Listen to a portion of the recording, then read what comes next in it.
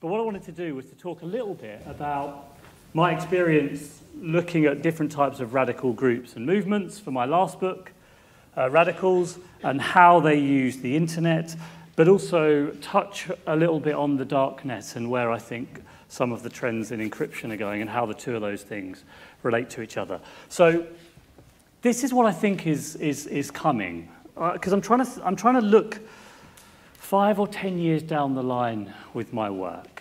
And what I think is coming, like everyone's at the moment nervous and worried about the radical right and the last 18 months of great political turbulence. But I think it is just the start of a much wider and much longer period of great political change. It's exciting in some respects, it's terrifying in others. I look at the challenges facing society in the next 10 years, the twin forces of artificial intelligence and automation, climate change, aging population, the difficulty of controlling borders. And I just think, oh my goodness, the, the current centre left, centre right consensus in politics, even though it's stretching a little bit at the moment, is completely unsustainable. We are like at the beginning of the combination of both the Industrial Revolution and the invention of the printing press happening at the same time. And so we are about to see, I think, some great sort of explosion of all sorts of different types of political radicalism. Now, this is extraordinarily important because political radicalism, fringe movements, outsiders, have always been the motor of change in liberal democracies. It's always outsiders that come up with the ideas that keep society ticking along. So it's extremely important that we encourage radical movements to exist. The problem is that in the next 10 years or so, the governments of the world are not going to want to do that. We are almost certainly going to see, I think, a great increase in various types of online and offline censorship. And I think some of that is already happening, and a lot of it is a great sign of weakness. So, for example, was it a few weeks back that um, Amber Rudd, who, by the way, read Radicals and tweeted that it was a really good book? So, I don't know whether that's I've put that on the cover of the paperback because I'm not sure whether she's going to be happy about that. But um, where she said that we're going to increase the, uh, the total maximum possible sentence for viewing online material to 15 years. 15 years for viewing terrorist material online. Why? I think it's because they understand that they cannot stop it. They cannot actually prevent people from looking at this material. It's getting far more difficult to censor and control. And so, what do we do? We put incredibly tough sentencing in place to try and scare people off. And we are going to see more and more of that happening. And this is really bad. And it's really bad because I think it, it's going to constantly narrow the range of ideas that people feel comfortable talking about. And that worries me greatly for the reasons I said earlier. We are entering into a phase of great radicalism, and we need it because we need new ideas. And I want to give you a couple of examples. So, for this new book, uh, Radicals, I spent some time in Liberland. Any of you like hardcore libertarians in the room here? Not many. God, what's happened to Open Rights Group? Where's all the libertarians gone? dear, oh dear. Um, So it's a kind of, it's a, it's a, it's a libertarian, it's, a, it's an idea of creating a new country on the Croatian-Serbian border based on libertarian principles of voluntary taxation, night watchman state. Actually, it's anarcho-capitalist, so not even a night watchman state. Like the smallest, weakest type of government imaginable, uh, all using all sorts of different cryptocurrencies with the idea that there is no truly libertarian country in the world, and Liberland is going to be it. And in 2015, a Czech um, political activist called Vít Jedlička traveled from Prague, drove into Liberland, which is basically a seven square kilometer patch of land that is disputed territory between Croatia and Serbia.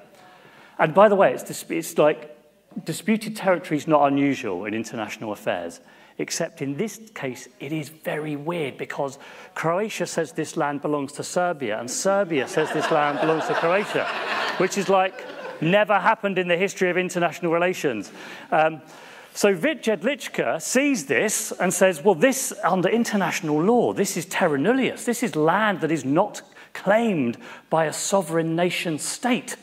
And according to international law, if I turn up there and plant a flag in the ground, I get to claim sovereignty over it, which is what he does. Amazing.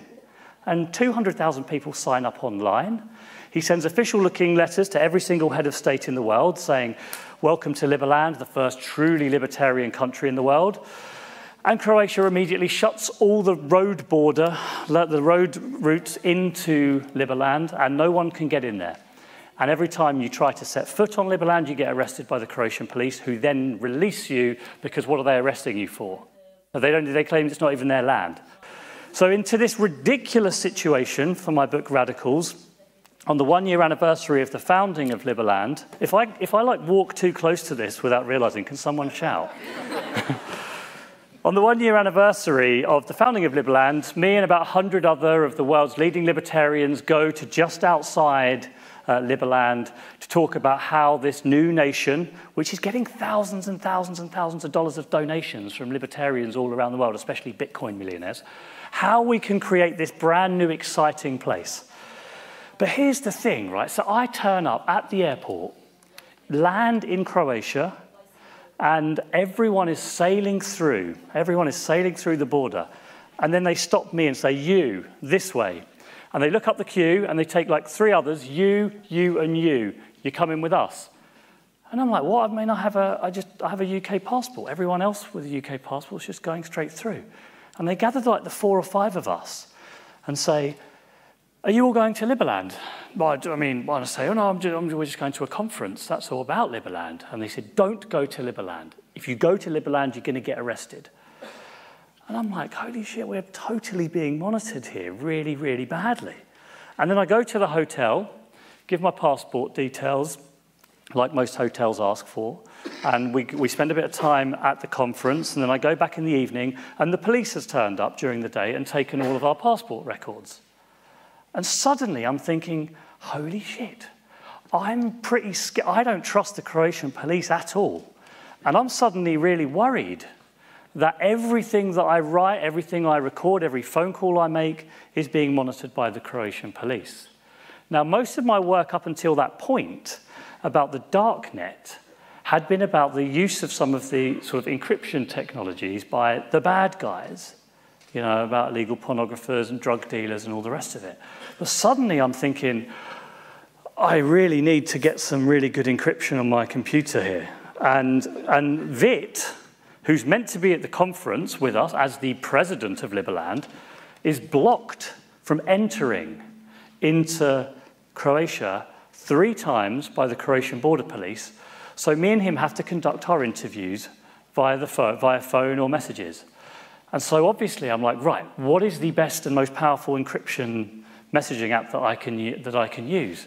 And thank the maker that these things exist.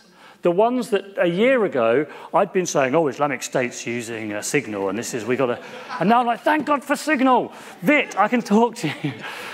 And I suddenly have a kind of weird moment where I understand the value in a slightly different way. I mean, I understood, obviously, when I gave talks about the darknet, I would always at the end say, and of course, they are used by uh, political activists and journalists. But I hadn't actually really done it myself, you know. And so to then be in that position, I had a totally different take on it because it wasn't just that I could communicate with Vit about his political activism, it was that I felt freer to express my ideas and even the possibility that the Croatian police were monitoring us was really limiting our ability to think for ourselves and talk and, and come up with ideas. So even the existence of powerful encryption made me feel like I could express myself and Vit could express himself in this situation far more safely than we could have done otherwise. And, and, and, and this is why I think it's so important. This is why I've sort of changed my view on it slightly over the last couple of years as I see all these problems bubbling up in society and I see the value of radical thinking. And I don't agree with a lot of what Vit is saying, I suddenly see how the existence of these tools are incredibly important for where we are heading. Now, the second thing I want to say, and I won't talk for too long because I'd like to hear some questions, is, is a really basic thing, I suppose. Um, it's, a, sort of truism that people on the, on the fringes are always on the lookout for avoiding censorship or avoiding and evading detection of various types. This is why I'm always staggered when people say, Oh, I can't believe that Islamic State are so good at using the internet. And I'm like, What are you talking about? I mean, mostly they're men aged between 18 and 24 you know, it's, it's, not, it's not really weird for them to use hashtags. You know, that's pretty, pretty much in line with what everyone else of their age is doing. But also, radical groups tend to have a greater incentive to be looking for ways to avoid censorship because they're always feeling like they're being censored. So it's true of the radical right. One of the first bulletin board systems was Stormfront. You know, the English Defence League, which was founded in 2009, which I followed, have followed for a very long time indeed, was essentially a Facebook group with a very small militant wing that used to go and do street protests. They're always on the lookout for these things. And so you can never be surprised that radical movements of all stripes are always trying to figure out what the latest technology is and trying to use it. That has always been true and will always be true. But here's the problem when you start trying to censor how they use those or ban them from using them or whatever. The first thing is every time you try to put a ban on any of this sort of stuff or any type of censorship, immediately there is a now a counter reaction of people building it again. And you saw it in the early 90s with the crypto wars, um, where essentially the US government's efforts to clamp down on military grade encryption led to a great explosion in the availability of relatively easy to use powerful encryption for everybody massive backfire. And the same thing happened after Edward Snowden. Loads of people suddenly motivated to build encryption tools and censorship evasion tools for people to use. And that's frustrating because the knot keeps tightening, and I think it will continue to tighten. But the lesson is that you can try and stop these things from getting out there, but every time you do, more and more of them are going to pop up. And that's really bad because I want to just tell you something about it's like a second story from, the, from, the, from my book, Radicals. But basically, with this book, I just spent two years with all these different radical groups and movements free love communes, psychedelics communities, the radical right, militant environmentalists, trying to get a feel for all the different types of radical ideas that are out there at the moment. And I spent an awful lot of time with the English Defence League. Well, actually, it wasn't the English Defence League, it was, it was Tommy Robinson. Do you guys know who Tommy Robinson is? He's sort of leader of the English Defence League, going around for, doing these anti-Islam demonstrations for, for months and months and months. Now, in 2015, he gets in touch with me and says, the problem with the English Defence League, Jamie, my dear friend, is that we, we were always too drunk, we were always too rude, we were chanting and we were fighting, and it turned people away from our movement. And he said, I want to create a sort of respectable version of the English Defence League, a sort of a, a, movement that can appeal to the middle classes. And, um, and over, over uh, six, six months, I followed him all across Europe as he tried to build this thing, he called it Pegida UK, respectable version of the English Defence League. Um, and he, actually, he succeeded, right? I mean, he, he put on demonstrations where there was no drinking, no fighting, no violence, no swearing, and obviously no people because they were the reasons that people were going to join the English Defence League in the first place. But I followed him everywhere he went. And one of the things about him, like, like, just like all the other groups I've talked about, is that he's like, he's like this, like the rest of us. He's constantly on this thing all the time. Constantly sharing, sharing, sharing. And he has obviously a huge network of online followers. And one of the things that he does is every single day he uh, receives, usually through Twitter, sometimes through Facebook, news stories um, that corroborate the worldview of the English Defence League, which essentially is that Islam and the West are at war, politicians are too afraid to admit it. If you try and call it out, you'll get called a racist, and it's left to people like him to defend Western civilization from this encroaching threat. And every single day, he gets, I reckon, 20 or 30 stories, direct message to him on Twitter, that corroborate this view of the world. Here's the tricky thing about it, right? it, the stories that he gets are not always wrong. They're not always from conspiracy theory websites. They're not always from InfoWars. They're not always made up. They're not always from Breitbart. They're often from very respectable outlets. And they are about things that are actually happening. The problem is you're cherry picking all the bad things and then sharing them on your social feeds to create the impression of a very, very obvious, sort of overwhelming problem. But that's what he does.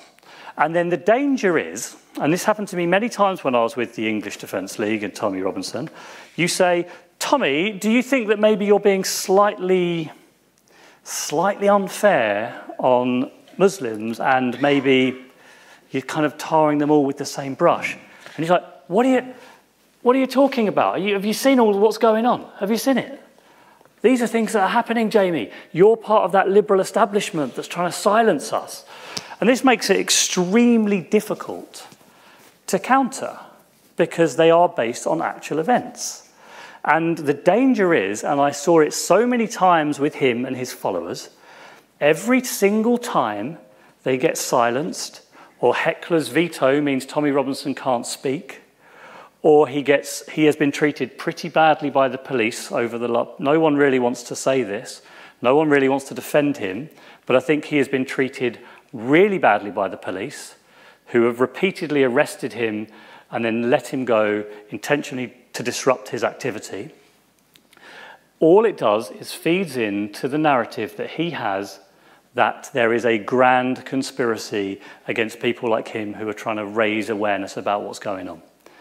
And that is, in some senses, an even more powerful message, an even more powerful drive than the ideology that we're fighting Islam. It's even greater to think the state is trying to shut down on you and that you're rising up against it. That holds that group together. It is absolutely central to groups like the English Defence League. The idea that you're being silenced, which is why every time you do try to censor them, all it does, firstly, they'll get that information out somewhere else. Plus, they now have an added bit of a sort of evidence about their ideology and philosophy that they're being silenced. And a sense of injustice is such a powerful part of the motivation for any radical group. So this is why I think it's this is the reason why censorship really does backfire with radical groups. But the other reason, and this is the final point I'll make, and then maybe we've got time for a few questions, Jim, let me know. Have, have we got time for? Yeah, all right, good. The other reason is I actually think that in the next 10 years or so, censorship is going to get really, really difficult. And I mean, actually, almost impossible. I think we are entering into a phase whereby, whether it's through the darknet or through the continued proliferation of encryption and sort of default encryption, or whether it's decentralized networks based on blockchains, that we are entering into a phase in which censorship is actually going to be more or less impossible. I mean, with my work on the darknet, for example, sad to say that it's, it, it is more or less impossible to remove illegal material from the darknet.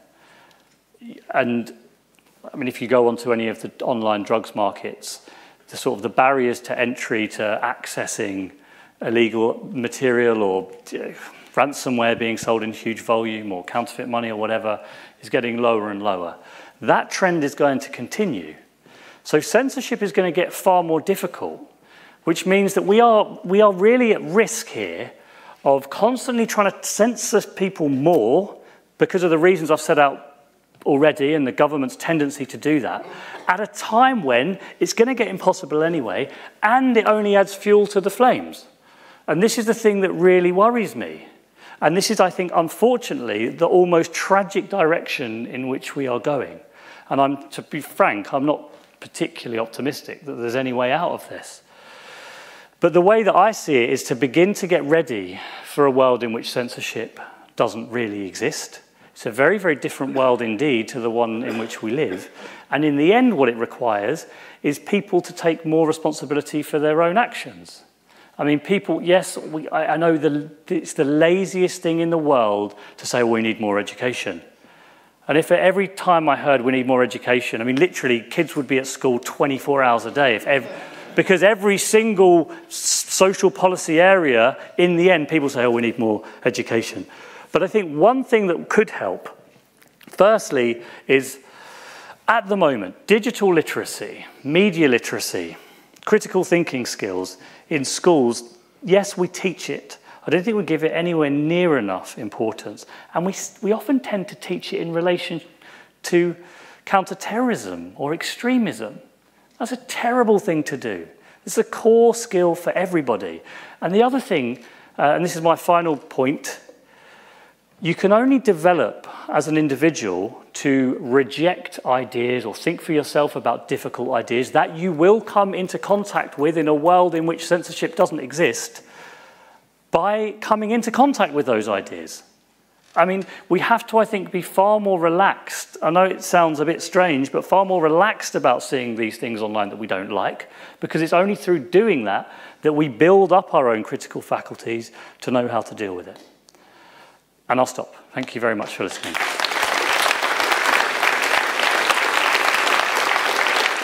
Jim, do we have time for questions? Is there time for a couple of questions? Um, so I'm wondering, the, damage that one person can do is growing exponentially, and at the same time, um, we seem to be giving more space to people to talk um, more and more um, radically. How do we how do we go about making sure that we don't end up in a situation where we all die? Right. Yeah, I'm actually really, really pessimistic at the moment, and it's not. I'm genuinely really, really worried because I think you're exactly. I think you're exactly right. I think it's getting far more easier for a smaller number of people to do more damage, and all the different trends that I see bubbling up, and sort of working with each other. I think we're in for some really, really difficult times ahead. I mean, actually, in the end, I think governments are going to need to have more power. Uh, and I know maybe this won't be popular in this in this room, but I think in the end, governments will need to have more power to do more things, and we are going to have to have far more oversight in restricting how they use that power. Um, you, talked about um, censorship no longer existing. Um, we, I mean, we've got a situation where, for instance, the counter-terrorism in internet referral unit um, of the police has taken down 270,000 pieces of extremist content over the since 2010, I think. Yeah. So, are you suggesting that that you know, over the next few years won't happen anymore, or are you suggesting that it will simply be ineffective and that this sort of material will be driven underground? Yes, uh, so, so yeah, so huge amounts of volume getting removed. But um, if you think back to 20 years ago, the idea that there could be 270,000 pieces of terrorist content on the internet would have staggered everybody, and they would have said, oh my God, that is the end of censorship if we can see that much stuff online. I think that there's going to be just as much being taken down by governments, but even more that keeps popping up and remaining. And this is the thing that kind of worries me because what we'll then do is we'll just keep spending more and more money trying to remove stuff that it doesn't need to go onto the dark net at all. I mean, loads of stuff's on things like Pastebin and I mean things that aren't on encrypted networks at all.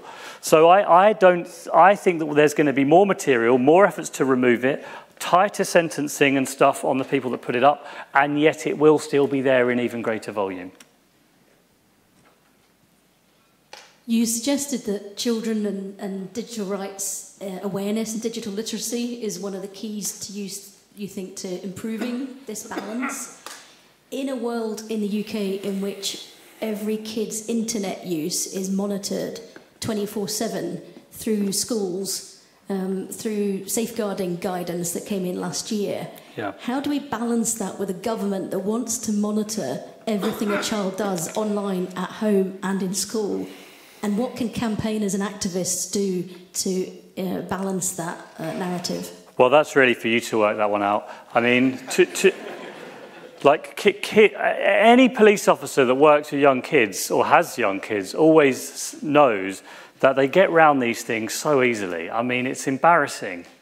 Um, And the other thing is that they go into schools and they learn about stuff, and then the minute they walk out the school gate, they're doing all sorts of other things, which is what I would have done when I was 15 as well. I mean, this is the thing that worries me sometimes when I talk about Tor. I'm like, Jesus, I mean, someone had told me about these like uncensorable drugs markets when I was 15. It's literally the first place I would have gone. So, like, the, the reality is that all the, all the the warm words that we'll say about teaching young kids to be careful and decent and thoughtful, they are, they're, they're just, they are still going to make loads of mistakes and they are going to go and do all of this bad stuff. That is just, I mean, and we will, ne- we'll, we will never get around that problem. If we think that we can ever make the internet a much nicer place to be, then we've got to really start with ourselves. Like, we've got to make people nicer. And frankly, that's been a 100,000 year long human project that hasn't completely succeeded yet. So, so I don't, so, so I don't have, I don't have an answer for you, I'm afraid. And I've been told I've got to wrap up on that miserable note.